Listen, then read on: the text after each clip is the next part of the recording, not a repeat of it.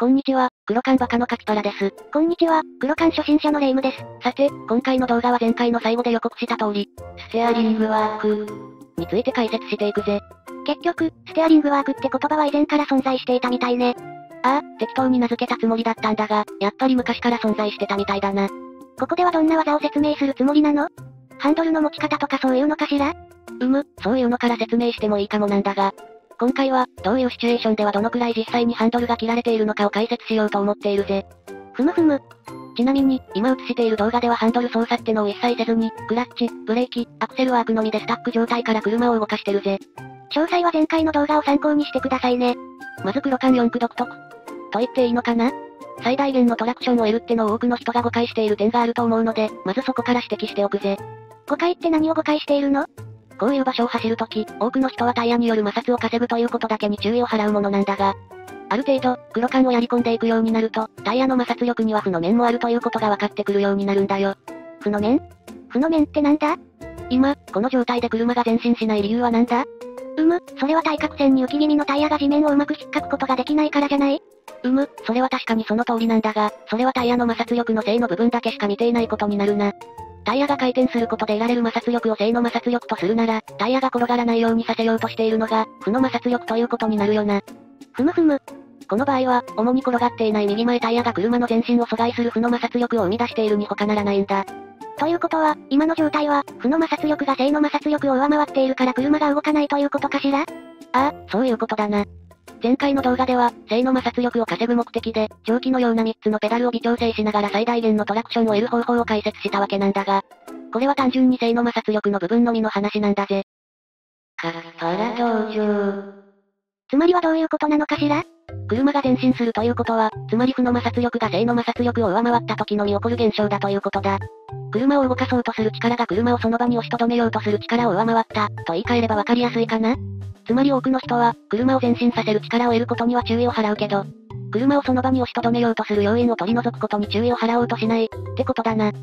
ふむふむ、なんとなくわかるけど、そういう人は何を見たらすぐわかるのかしら？こういう場面で、アクセルを踏みすぎて、地面を掘ってたら速攻でわかるよな。ああ、こいつはアクセルハッピーなんだなってね。アクセルハッピー？アクセルを踏みまくって、タイヤを空転させたり泥を飛ばしまくったり暴走して喜ぶタイプの人の総称だな。相変わらず辛辣ね。確かに路面状況などによってはアクセルを踏みまくらないと前進できないシーンもあるんだけど、このような比較的グリップの良い地形を這う場合は、タイヤが転がるのを妨げる要因を取り除くのが重要ってことも言えると思うんだぜ。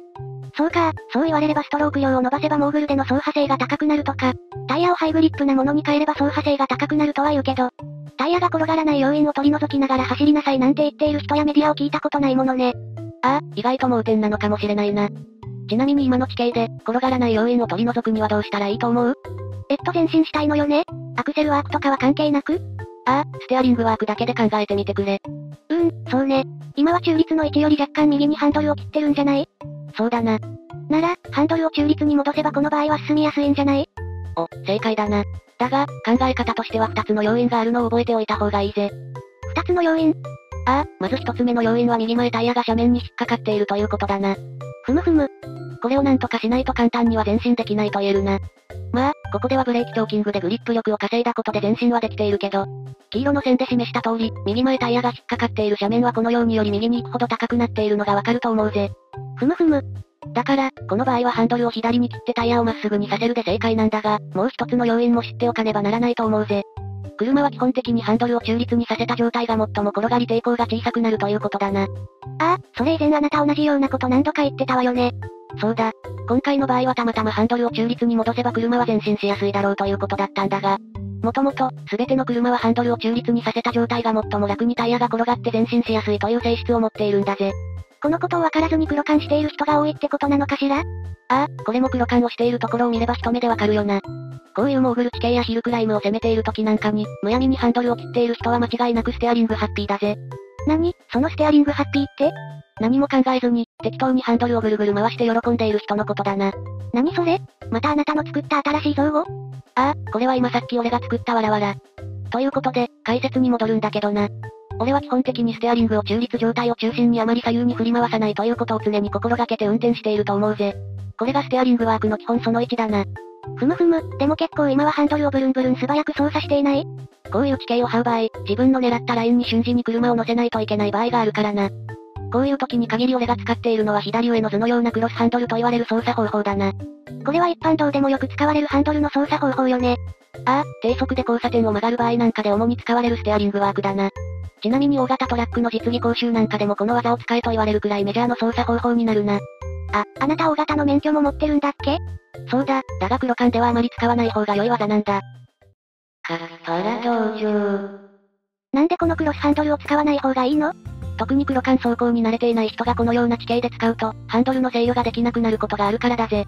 クロスハンドルをする際、一時的にこのように腕がクロスすることがあるんだが、クロスした瞬間に、地形からの欠沈を食らってハンドルに大きな力が加わった際に、クロスした腕が絡まったり強くヒットして操作不能に陥ることがあるんだよ。あら、それはダメね。ちなみに、このような打ち掛けハンドルは最も怪我しやすく、制御不能に陥りやすいハンドル操作の代表格になるぜ。あ、それは自動車の教習所でも同じようなこと言われたわ。確かに力を込めやすい技なんで、どうしてもステアリングが切れない時の人押しなんかで限定的に使うことがあったりするんだけどな。まあ、車にとっても人にとってもリスクや負担が大きい技なんで使わない方がいいとは思うぜ。リスクはわかるけど、負担って何？ハンドルが回らないってことは、何らかの原因でタイヤがロックされているということだからな。その原因を無視して、力とパワステに物を言わせて無理やりハンドルを切ったら、操舵系や駆動系の破損が十分考えられるんだぜ。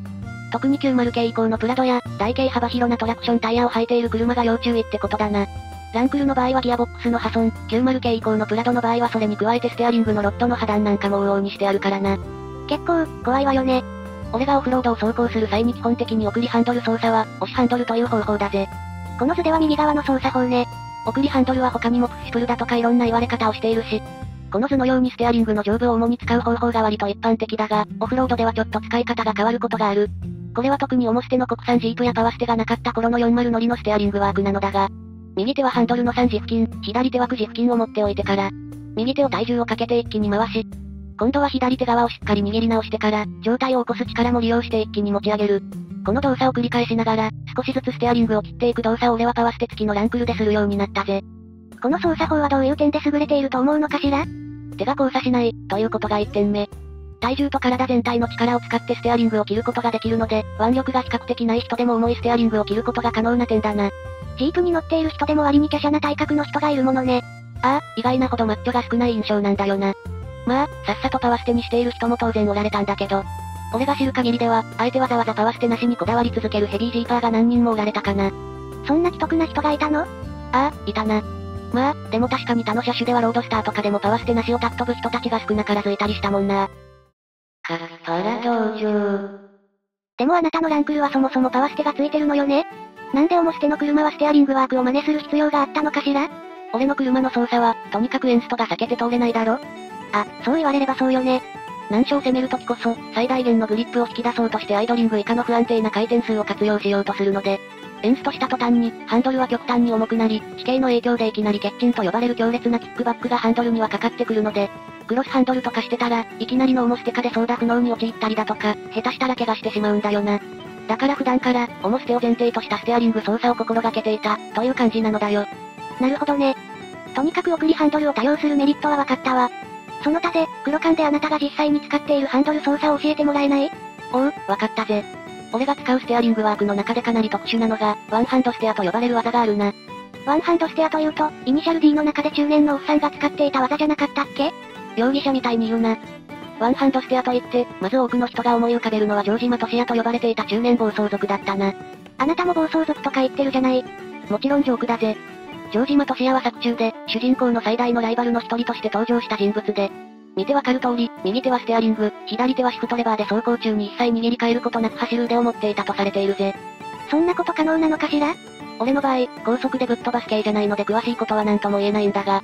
ハンドルの打角が小さい方が早いとか、ハンドルを握り替える必要がない分、好きな黒面からの突然の入力に即座に対応できるなんてのがあると思うぜ。だが、俺が使っているワンハンドステアは、それらとは大きく目的が異なるし、ハンドルの握り方、操舵範囲とか全然違うものだと思うぜ。まず、右手で操作する場合、ハンドルを握る位置は1時から2時の付近だな。え、ハンドルの真上とか真横じゃない理由があるの？ああ、後で説明するけどちゃんと理由があるぜ。で、ここからハンドルを右に回す場合は、ざっとこの位置くらいまで。つまり6時過ぎのあたりまで一気にハンドルを回転させるぜ。随分回すのね。逆に左側にハンドルを切る場合は、こんな感じで8時くらいまで一気にステアリングを切るぜ。ちょっと待ってハンドルを一切握り替えずに合計で140度近くも回す計算になってない？ああ、回してるぜ。どうやって？これはさ、カヌーでシングルパドルを操作している一シーンなんだけど、左手に注目してもらってもいいかな？左手って、あら？手のひらが不自然に内側を向いてない？本来なら、手のひらは外側を向くのに逆側に手首をひねっているのかしら？そうだ、これはオープンデッキカヌーでシングルパドルを操作する手法の一つである J ストロークという漕ぎ方のワンシーンなんだが、漕いだ後にカヌーの向きを調整するのに、こうやって手首を返して手のひらを内側に向ける操作をすることがあるんだ。こんな感じでぐるっと手のひらを返して奥までハンドルを切る操作が、俺流のワンハンドしてあってことになるのかもしれないな。あ、そうか。あなた若い頃は、オープンデッキのカヌーを持っていたとか言ってたわよね。ああ、かれこれ20年以上カヌーには乗ってないけど、ランクルに乗る前は単独で川下りとかもしてた時期があるぜ。あ、なるほどこの人も J ストロークを使っているのね。ま、こんな感じで俺が J ストロークの手首の返しを応用した独自のワンハンドステアを使い始めたのは2000年以降の、ジープ勢と走るようになってからなんだけど、使うのは、揺り返しを使いながら車の向きを変える際や、ウエンチングをしながら車を操作する場合に限られるぜ。それはなんで？黒缶をするときは基本的に両手でハンドルを握っていた方が、不意の欠勤などに対応しやすいからだな。まず、揺り返しだとかスイングと名付けている技を使うときは、クラッチ操作だけで車を前後に揺すりながら車の向きを変えていくわけなんだが、この時は両手を使って操作しているが、ジープ勢と遊ぶ際などではわざわざワンハンド縛りをすることもあったりするぜ。なんで？さっきも言っただろステアリングの打角は忠実に近い時の方が、タイヤの転がり抵抗を少なくできるから。だぜ。ワンハンドステアは1回で操作する角度はどうしても少なくなるわよねその方がいいとでも言うのかしら？ああ、そうだぜ。一度のステアリング操作での打角が小さくても、前進する際は、左。逆に交代する際には左にハンドルを切れば、車は必ず向きを変えることができるんだぜ。言われてみれば確かにその通りね。こういう技をずっと以前から練習していたということなのかしら？二十数年前からだな。こういう前後に車を揺するような操作をするのは、当然、クラッチペダルが存在するマニュアルトランスミッションの方が圧倒的に楽に行うことができるわけだな。それはそうよね。坂の途中ならクラッチを切るだけで車は坂の下に向けて黙っていても動いてくれるものね。もし、これと同じ作業をオートマ車でやろうとするのであれば、前室の城島俊也みたいに、右手はハンドル、左手はオートマのシフトレバーで固定させて、左手でひたすら、D と N の間や D と R の間をガチャガチャと操作し続けないといけないということになるわけだぜ。さすがにそれは誰もやりたがらないんじゃない？ああ俺もそう思うぜ。そんな面倒なことを考えず、スパーンと勢いつけてタイヤをぶん回しながらこういう地形を走破した方が気持ちいいのかもしれないな。カッパラ道場。うん、揺り返しの動作の際に、細かく左右にハンドルを切ることで車の向きを変えていくことは分かったわ。あと、ウインチングをする際にワンハンドステアをしなければいけない理由を教えてもらえるかしらおう、わかったぜ。ウインチングをする場合、見てもらえればわかると思うんだが、ウインチのコントローラーを左右どちらかの手で操作しないといけないだろま、それはそうよね。俺の場合は、ウインチからダイレクトに伸ばしたコントローラーをロールバーにつけて操作しているので、ウインチを車外でも操作する頻度がかなり高いから運転席の右側、つまり右手で操作することが多いな。ということは、ウインチングするときは左手のワンハンドステアをしているってこと？ああ、そうなるよな。ただ、俺は右利きってのもあるし、さっき説明した J ストロークみたいな手首の返しを左手では使えないので、右手でやるほどの大きな打角は左手では無理だな。あなたにもできないことがあるわけね。うむ、言われてみれば練習不足ということなのかもしれないな。ただ、俺の場合は見ての通り、ウインチングでも揺り返しの動作を結構多く使うぜ。ウインチングの時もタイヤを巻き取りと同時に回すトルクアシストが基本だと思っているから、ウインチそのものへの負担はそもそも少なく、何度アプローチを繰り返しても電力不足に陥っただとかウインチが熱でへたって動かなくなったなどということは今まではなかったぜ。そういえば、純正ウインチには熱でストッパーが働く機構がついていたんだっけ？うむ、あるらしいけど俺のウインチではそういうことになったことはないな。そうなんだ。ま、そういうわけでウインチングの時も一度にそれほど大きくハンドルを切る必要はない操作を普段から行っていた、ということだな。ウインチングの時まで揺り返しを使っていたとは思わなかったわよ。最後にもう少しだけ、ステアリングワークの基礎的な部分を説明しておくぜ。ランクルの場合、ロックプーロックといって、ハンドルを目いっぱい切った状態から反対に目いっぱい切るまでおよそ4回転ほどあると言われているぜ。つまり、ハンドルが中立の状態から言うと、左に2回転、右に2回転回せる、ということになるぜ。ふむふむ。ランクルって結構、ぐるぐるとハンドルを回さないといけないわけなのね。最近のオンロード寄りの SUV や乗用車の中には、ロックプーロックが3回転だとか2回転ほどしかない極めてクイックな車もあるらしいんだが、ランクルってのはその意味では結構忙しい車ということが言えると思うぜ。質問があります。なんだね、レイム君。なんでランクルはそんなにハンドルを回さないとタイヤが切れてくれないのでしょうか？うむ、俺は開発の人間でも何でもないのであくまでも一般論としてよく言われていることなんだということで返答させてもらうんだが、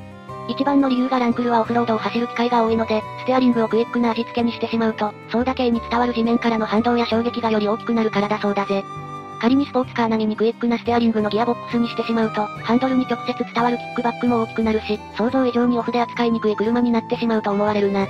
なるほど、それでランクルのハンドリングは中立付近で遊びが少し大きいと感じたり、街中を走る時にハンドル操作が妙に忙しく感じたりするのね。そういうことだな。だから、さっきワンハンドステアで140度くらいをハンドルの握り返せずにぐるぐると回せるようになる、と言っても実際のタイヤの打角の変化は小さいもんなんだぜ。あ、なるほど。だから多くのランクル乗りはこういう地形を走る際に忙しくステアリング操作をしているのね。ああ、そういう事情もあるので俺から見ると随分ラフで適当なステアリングワークしてんなって思うことがあるわけなんだよな。今まで、ステアリングの操作なんてオンロードでやっているのと同じでいいじゃんと思っていたけど、意外なほど、オフロードでのステアリングワークは独特なものがあるということが分かって楽しかったわ。まだ言い足りないことがあるかしら？うん、実はまだまだこんなもんじゃないくらいステアリングワークってのは奥深いものがあるので、今回はこの程度でやめておこうかなと思うぜ。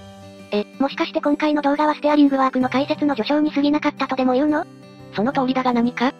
いやー、次回が楽しみだなぁと、かっこ棒。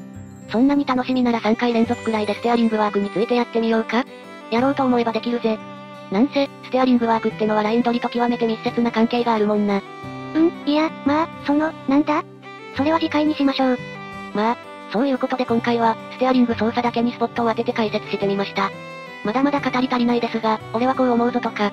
実際にこんな操作をしているぞなんて話がありましたら、遠慮なくコメントに残していってください。なんせニッチが過ぎるコンテンツなんで再生回数が伸びないのは分かっているのですが、いいねや、コメントは主のやる気につながりますのでぜひともよろしくお願いします。また、登録がまだの方はぜひ登録をよろしくお願いいたします。では、今回は終わりにします。霊イムは言いたいことあるかい？いや、前回までのクラッチワークとかだけでもお腹いっぱいなのに、ステアリングワークはさらに輪をかけて覚えることが多いと思うと体重が減ってしまいそうよね。体重が減ってラッキーじゃん。